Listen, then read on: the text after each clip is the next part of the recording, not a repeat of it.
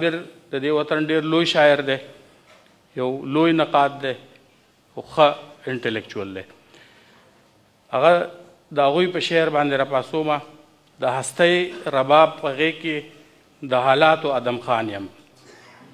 د هستۍ رباب په غېږ کې د حالاتو ادم خان یم د سپرلي درخو ته ناست یم سوروم د زړه تارونه صاحب شاه صابر. يه د جهان د ښايستونو خدايه يه د رڼا او د رنګونو ربه يه د جهان د ښايستونو خدايه يه د رڼا او د رنګونو ربه يه د انسان د تصور خالقه يه د سپرلي او د ګلونو ربه چې ستا په ځمکه د جنګونو خدایان چې ستا په ځمکه د جنګونو خدایان ستا د تخلیق د رڼا رنګ ورکوي چې ستا په مخ کې د بارود لوګي چې ستا په مخ کې د بارود لوګي د خایستونو آینې ړندوي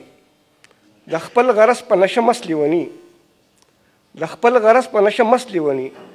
د محبت په لمن تور لګوي د خپل غرس په نشه مس لیونی د محبت په لمن تور لګوي د سود او زیان په مخه کړي خلک ستا د خایس په ځمکه اور لګوي دا هر څه کېږي ستا په مخ کې کېږي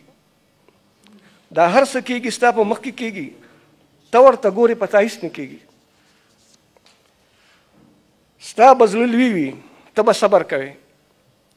ستا به زړه لوی وي ته به صبر کوې خو داسې نه چې په چا هیڅ نه کېږي ستا به زړه لوی وي ته به صبر کوې خو داسې نه چې په چا هیڅ نه کېږي ستا د شاعر د زړه نه وینې ساسي ستا د شاعر د زړه نه وینې ساسي ستا د پنکار د خپو نساوتې ده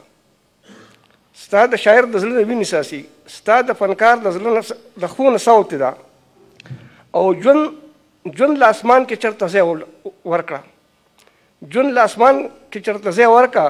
د اوسېدو نه خو دنیا وتې ده ژوند له اسمان کې چرته ځای ورکړه د اوسېدو نه خو دنیا وتې ده اوس دواړه نه کېږي یوه به کوې